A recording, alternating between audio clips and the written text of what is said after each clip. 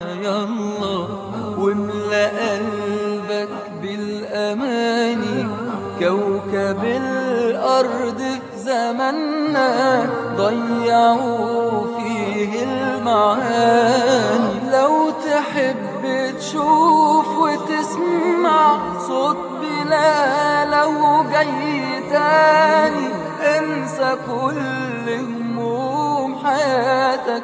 يلا نروح لكوكب تاني. السلام عليكم ورحمة الله وبركاته. بسم الله والحمد لله والصلاة والسلام على رسول الله صلى الله عليه وآله وسلم. أما بعد فمرحبا مرحبا بإخواني وأخواتي وأهلي وأحبابي. مرحبا بكم مرة أخرى مع كوكب تاني. أخوي وحبيبي النهاردة محتاجين نطلع لكوكب. الكوكب دوت لو قدرنا نتخلق بالخلق اللي فيه بفضل الله سبحانه وتعالى هنضمن إن ربنا سبحانه وتعالى يتقبل منا عبادتنا وإن نضمن إن شاء الله إن ربنا يستجيب دعائنا. تعالوا نركب سفينة الفضاء. يلا بسرعة. سبحان الذي سخر لنا هذا وما كنا له مقرنين. وإنا إلى ربنا لمنقلبون. يلا طالعين في سماء الطاعة. الله أكبر. بنقرب من عالم الكواكب اللي موجودة بفضل الله سبحانه وتعالى. قربنا ودخلنا على كوكب اسمه كوكب الورع. كوكب الورع. كوكب جميل قوي قوي خلق عظيم جدا جدا. لا يتخلق به إلا أهل الإيمان والتقوى.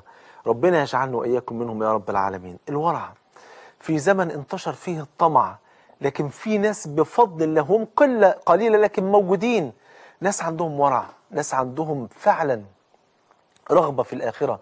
ناس عندهم زهد شديد جدا في الدنيا بفضل الله سبحانه وتعالى. تعالوا بسرعة كده قبل ما الوقت يجري نشوف ونتعرف على سكان الكوكب الجميل دوت علشان نعيش مع الخلق الجميل ده ونتعلم الخلق الجميل دوت. كان أول قصر كان قصر عجيب جدا. كان قصر واحد صاحب الجرة. مين اسمه أو اسمه إيه الراجل ده؟ إحنا مش عارفين. لكن هو صاحب الجرة. معروف بكده. قصر صاحب الجرة. إيه صاحب الجرة؟ تعالى نشوف حديثه من القصة الجميلة اللي قالها لنا النبي اللي قالها لنا النبي صلى الله عليه وسلم كما في الصحيحين قال صلى الله عليه وآله وسلم أخبر في عجالة سريعة كده معنى الحديث إن في رجل اشترى من رجل أرض. الكلام ده كان في بني إسرائيل. فالرجل اللي اشترى الأرض ده أو الأرض ديت من التاني حصل إيه؟ وهو بعد ما اشترى منه الأرض ابتدى من تاني يوم مباشرة ابتدى إن هو يعني يحرث في الأرض ويشتغل فيها وقدرا بيضرب بالفاس فجأة لقى شيء صلب كده تحت الفاس. بيفحت بالراحة كده وبيشيل التراب بالراحة أو الطمي بالراحة لقى جرة كبيرة حاجة كده زي زلعة كبيرة كده مليانة ذهب. فراح واخدها وراح رايح لصاحب الأرض اللي اشتراها منه. طب يا عم انت اشتريت الأرض خلاص الأرض دي أصبحت ملكك انت يعني اللي تلاقيه كله حلالك يعني بلغة الناس يعني. لا راح لصاحب الأرض وقال له يا أخي لقد اشتريت منك الأرض فوجدت فيها جرة من الذهب فلعلها يعني بتاعتك. قال له لا والله ليست ملكي. قال له طب خلاص حتى لو ما كانتش ملكك آه، اتفضلها برضه خدها. فقال له لا أنا بعت لك الأرض بما فيها. التاني قال له لا أنا اشتريت منك الأرض ولم أشتري منك الجرة. سبحان الله. ففضلوا هما الاثنين يعني يتناوشوا مع بعض ويتداولوا مع بعض الكلام زعلانين من بعض مش عشان هات لكن علشان خد. كل واحد بيقول للتاني خد. زعلوا من بعض عشان كلمة خد مش عشان كلمة هات. سبحان الملك. فالاثنين أول ما لقوا بقى الموضوع بقى احتدم بقى وده زعلان وده بيقولوا لا أنت خد جارة ده بيقولوا لا أنت اللي خدها. قالوا خلاص نتحاكم إلى إيه إلى القاضي. فراحوا للقاضي بيتحاكموا ما بينه. إيه رأيك؟ أنا اشتريت من الراجل ده الجرة ديت وهو الراجل ده يعني اشتريت من راجل الأرض ديت فلقيت فيها جرة الذهب حبيت أديها له ما رضيش ياخدها وعايز يديها أنا. فإيه رأيك؟ احكم ما بيننا. فالرجل تعجب. القاضي قاعد وده أغرب يعني أغرب قرار أو أغرب قصة وردت على قاضي على وجه الأرض. تعالى يا قاضي واتفرج على اللي بيحصل النهارده بين بعض المسلمين اللي واكلين حقوق بعض.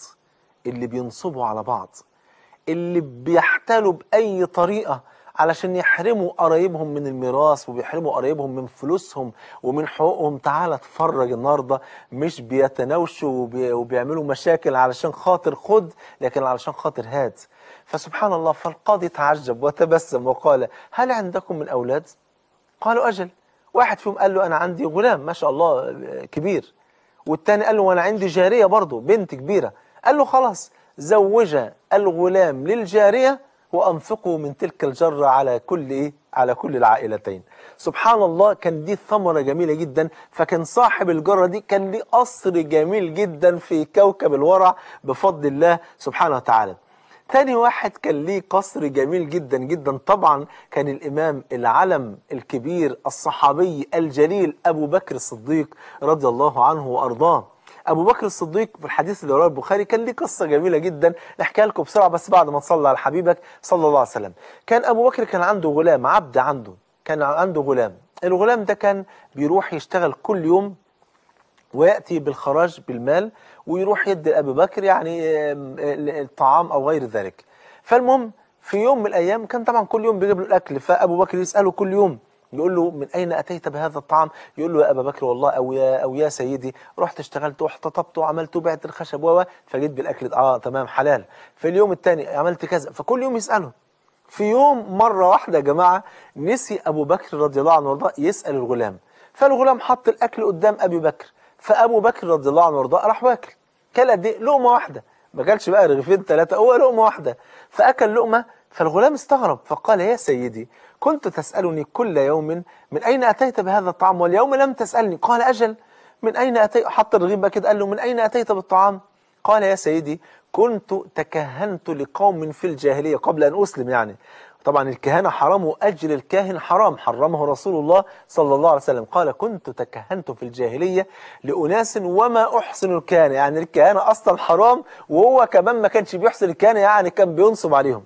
قال فلقيتهم اليوم فأعطوني هذا المال فجئتك منهم الطعام. فأخذ أبو بكر رضي الله عنه وارضاه وضع إصبعه في فمه يريد أن يتقيأ. مفيش يعني اللي مش قادر يتقيأ لأن هي لقمة واحدة. ويقولوا يا خليفة رسول الله يعني رفقا بنفسك. فقال والله لو لم تخرج إلا ومعها روحي لأخرجتها. وفضل يتقيأ لحد ما أخرج هذه اللقمة. وقال أما علمتم أما علمتم أن العبد لا يرفع له دعاء أربعين يوما أربعين يوما إذا أكل لقمة من الحرام. ده كان موقف جليل جدا لأبي بكر الصديق رضي الله عنه وأرضاه. هدية لكل من لم يتورع عن أكل الحرام. ناس يعني مش عايز أقول فعلا في ناس فعلا بكل أسف لا تتورع أبدا عن أكل الحرام. ما تفرقش معاه. حلال ولا حرام. المهم وده وده اللي النبي قال عنه كما عند البخاري. يأتي على الناس زمان. والله يا رسول الله بأبي أنت وأمي ونفسي وروحي. صلى الله عليه وسلم كأنه شايفنا وشايف حال الأمة من وراء زجاج شفاف. قال لا يأتي زمان سيأتي زمان على أمتي لا يبالي فيه المرء من أين أخذ المال. أمن حلال أم من حرام؟ مش فارقة معاه. ربنا يعافينا ويعافيك يا رب العالمين. أخوي وحبيبي كان القصر الثالث الجميل اللي موجود في كوكب الورع كان لأمير المؤمنين. فاروق الأمة الأكبر عمر بن الخطاب رضي الله عنه وارضاه. وكان في قصة عجيبة جدا. عمر بن الخطاب أمير المؤمنين بيحكم 26 دولة. في يوم من الأيام ابنه عبد الله بن عمر راح من خالص ماله الحلال الحر اشترى بعض الإبل اللي هي هزيلة جدا جدا كده وشكلها يعني تعبان وراح واخدها وطلع بها على الأماكن المراعي وبدأ يأكلها ويشربها لحد ما سمنت ما شاء الله واتملت لحم وراح السوق عشان يبيعها. وهو رايح يبيعها كان في دخول الوقت ده دخول أمير المؤمنين عمال بيطمئن على أحوال الرعية. فبص لها إبل ما شاء الله متينة كده ومليانة لحم. فقال إبل من هذه؟ قالوا إبل عبد الله ابن عمر بن الخطاب. فقال بخ بخ يا ابن عمر وراح منادي عليه قال تعالى يا عبد الله من أين أتيت بهذا؟ قال يا أبتاه أو يا أمير المؤمنين اشتريت إبلا أنضاء يعني هزيلة.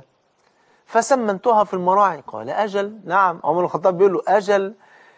دخلت بالإبل في المراعي. فقال الناس اسقوا إبل ابن أمير المؤمنين وأطعموا إبل ابن أمير يعني هيجملوك طبعا على حساب الإبل التانية بتاعت الناس البسطاء. ثم قال يا عبد الله بن عمر خذ رأس مالك. بع هذه الإبل وخذ رأس مالك وضع بقية المال في بيت مال المسلمين ولا تعد إلى هذا. يا سبحان الله. يعني مش من حق عبد الله بن عمر بمناسبة إنه ابن أمير المؤمنين إنه يعيش زيه زي أي واحد من الرعية ويتاجر ويبيع ويشتري ويعيش هو بيعتبر إن دوت في تعدي. ليه؟ لأنه بيقول أكيد هيجاملوك ويأكلوها ويشربوها ويسمنوها لأنها الإبل بتاعت ابن أمير المؤمنين فخاف سيدنا عمر إن يكون السم الس- السمنة اللي حصلت للإبل ديت جاءت مجاملة على حساب ضعاف المسلمين فقال له بيعها وخذ رأس مالك وضع باقي المال في بيت مال المسلمين عمر بن الخطاب اللي في يوم من الأيام وهو أمير المؤمنين يا جماعة راح عشان يحج صرف في الحج رايح جاي يعني تخيل من المدينة إلى مكة ومن مكة إلى إلى المدينة 80 درهم. 80 درهم مش 80 دينار 80 درهم. فقال ما أخلقنا أن نكون قد أسرفنا في مال الله جل وعلا. إيه ده؟ والله أنا خايف نكون إحنا فعلا أسرفنا وصرفنا كتير يعني تخيل واحد راح يحج دفع مثلا آه يعني مثلا 200 جنيه. فاهم إزاي؟ وهو راجع بيقول والله العظيم أنا خايف أكون افتريت وصرفت كتير. عمر الخطاب بيعمل كده. بيقول ما اسرفنا ان أو ما أخلقنا أن نكون قد اسرفنا في مال الله عز وجل. في يوم من الأيام يمرض يمرض سيدنا عمر بن الخطاب وهو امير المؤمنين اللي لازم يكون صحته زي الفل عشان يقدر يحكم ويقدر يشوف أحوال الرعية ويقدر يشوف مصالح المسلمين يمرض فيصف له الطبيب العسل. قال له علاجك إن أنت تشرب عسل. أمير المؤمنين ما عندوش في بيته عسل. لكن كان في عكة من عسل برطمان عسل أو زلعة فيها عسل موجودة في بيت مال المسلمين. يطلع عمر بن الخطاب على المنبر وينادي على الناس ويقول لقد أشار علي الطبيب بأن أتناول العسل. وهناك عكة من عسل في بيت مال المسلمين. فإن أذنتم لي أن آخذها وإلا فهي علي حرام. عمرك تخيلت حاجة زي كده؟ شيء والله العظيم يا جماعة فوق الخيال. تعال احكي لك قصة جميلة جدا برضو لواحد برضو كان ليه قصر. الإمام الزجاج. الإمام الزجاج رحمه الله رحمة واسعة في يوم من الأيام خارج من بيته كان بقاله ثلاث أيام وده اليوم الرابع ما كلش ولا لقمة وما فيش في جيبه دينار دينار واحد عشان ياكل ويعيش زي الناس ما عايشة. خارج لبيت الله الحرام كان عايش في مكة فهو خارج بدأ يسأل المولى عز وجل يقول يا رب يا رب يا رب يسر لي من يطعمني فإني لا أحب أن أسأل أحدا يا رب أنا مش عايز أسأل حد. أنا مش عايز أطلب من حد فلوس يا رب مش عايز أذل نفسي يا رب غير ليك. يا رب يصل لي يا رب الطعام بقالي أربع أيام ما أكلتش. وهو في الحرم داخل يصلي وبيطوف فجأة لقى عقد. العقد ده كان غالي جدا جدا. فراح واخد العقد وراح شايله في بيته. ورجع تاني الحرم يبحث عن صاحب العقد.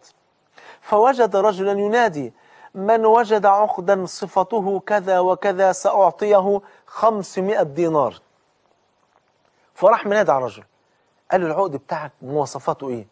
قال له مواصفاته كذا ولونه كذا ومحطوط في كيس لونه كذا والعقد دوت عدد حباته كذا فذهب به إلى البيت وفعلا راح مراجع كل المواصفات لقاها مواصفات هي هي بفضل الله سبحانه وتعالى. فراح مديله العقد وإذا بالرجل يخرج له 500 دينار. فالإمام الزجاج فكر كده وقال له لا يا أخي إنه لا ينبغي أن آخذ منك ثمنا على ذلك ابدا. إني فعلت هذا الأمر ابتغاء مرضات الله. فليكن هذا الأمر ابتغاء مرضات الله. قال له يا أخي والله خذ هذا المال يعني بنية صافية والله لا أريد شيئا يعني أنا أنا بديها لك بسماحة نفس. قال له لا والله لا أريد شيئا. قال وبت طاويا ما أكلت شيئا. لحد ما جاله جار ليه بعد كده ويعني وحس بالأزمة اللي هو فيها وأطعمه. الإمام الزجاج شوف القصة العجيبة بيقول في يوم من الأيام كنت رايح مسافر من بلد لبلد أبحث عن عمل خلاص ضاقت بيا أرض مكة رحت بقى من المكان بقى قريب من جدة كده ركب سفينة ويعني حب يروح مكان تاني علشان إيه يعني يلتمس لقمة عيش طيبة. يقدر ربنا سبحانه وتعالى إن السفينة تغرق وكل من معه يموت ولم يبقى إلا الإمام الزجاج. تعلق بلوح خشب حتى ما وصل لجزيرة من الجزر. فنزل. فلما نزل هناك دخل على ناس أهل قرية فعرفوا إن هو راجل غريب فأكرموه وجابوا له لبس وأكلوه وشربوه وسألوه من أين أنت؟ قال أنا من أهل مكة. فقالوا سبحان الله هل تحفظ شيء من القرآن؟ قال أحفظ القرآن كله وأقرأ القرآن وأكتبه بفضل الله سبحانه وتعالى. قالوا له طيب ده إمام المسجد بتاعنا مات فتعال أنت تشوف يعني نجرب ونسمع صوتك وجاه فدخلوه للإمامة. دخل فسمعوا صوتا جميلا ما شاء الله ويعني ما شاء الله عنده إتقان في قراءة القرآن قالوا بس يبقى أنت الإمام بتاعنا. آه طيب قعد معاهم ثلاث أربع شهور بدأوا بقى إيه؟ يبعتوا له أولادهم يحفظهم القرآن ويعلمهم اللغة العربية ويعلمهم الكتاب والسنة و فرحوا بيه جدا وأنسوا بيه جدا قالوا له خليك معانا بقى عايش على طول وعشان تعيش معانا إيه رأيك؟ تيجي نجوزك بقى وتعيش معانا؟ قال لهم ماشي موافق. بس أنا ما أنت عارفين لا يسمع لا درهم ولا دينار. قال له ما تشغلش بالك. العروسه موجودة والفلوس موجودة والبيت موجود. إحنا مش عايزين غير إنسان تقي زيك يحافظ على البنت دي. فإذا بالإمام الزجاج يزفوه على ابنة إمام المسجد اللي كان هو راحوا بقى المسجد ده. فلما زفوه عليها نظر في صدرها في ليلة البناء. طبعا كانت موجودة في وسط المحارم بتوعها. فنظر في صدرها فوجد العقد اللي هو لقاه في الحرم. فاستغرب. قال سبحان الله ما هذا العقد؟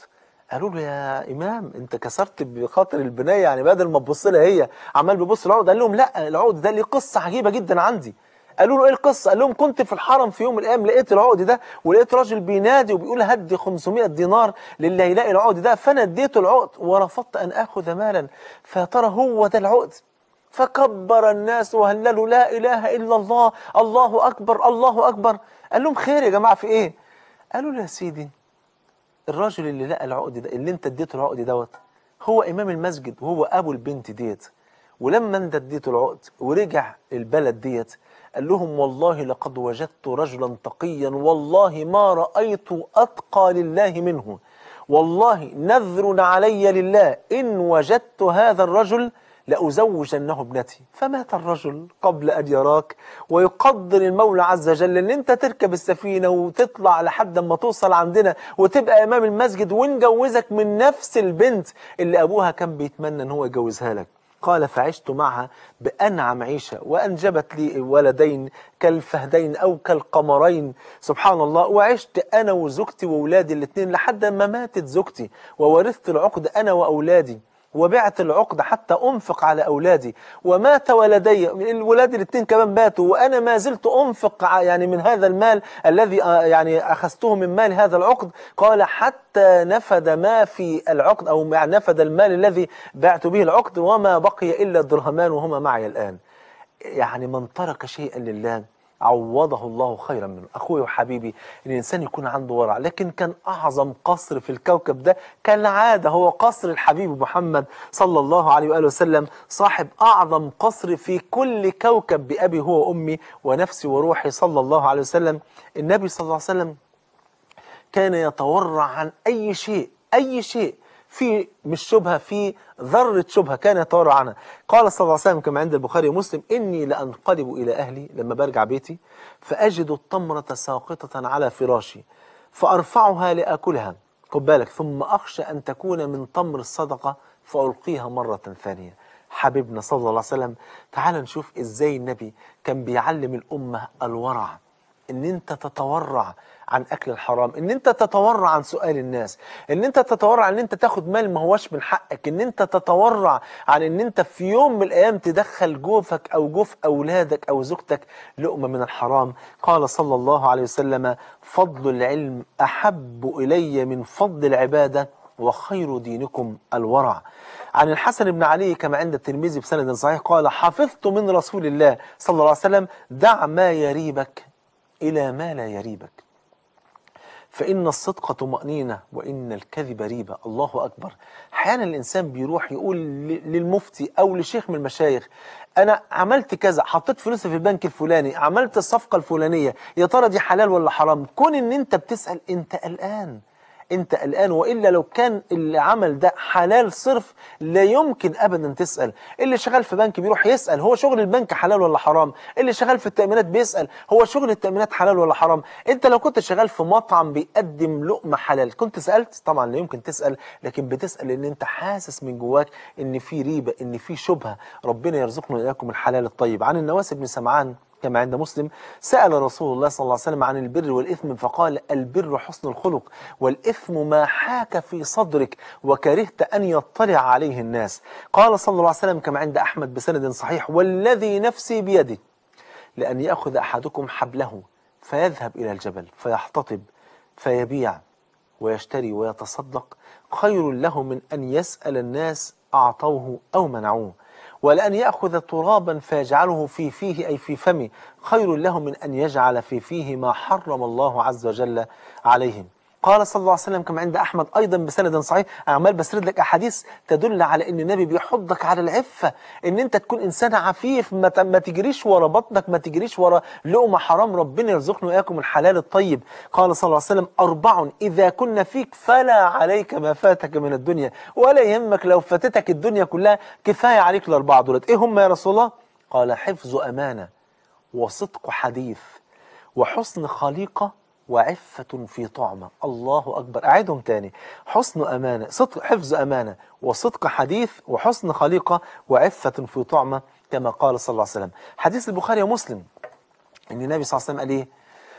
الحلال بين واضح واضح مش محتاج تسأل عنه. والحرام بين برضه واضح. لكن بينهم إيه؟ أمور مشتبهات. لا يعلمها كثير من الناس. لكن طالما في شبهة قال فمن اتقى الشبهات فقد استبرأ لدينه وعرضه ومن وقع في الشبهات وقع في الحرام. كالراعي يرعى حول الحمى